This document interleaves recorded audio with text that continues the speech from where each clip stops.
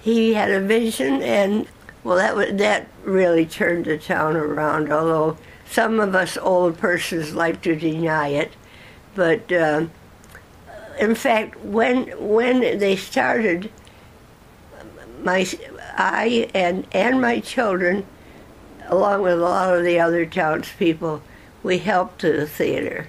We loaned them our furniture. We loaned them our kids to do.